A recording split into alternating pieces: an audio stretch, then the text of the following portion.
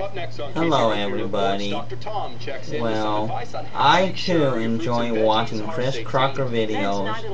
And Chris Crocker, you need to upload some more videos so I can watch you.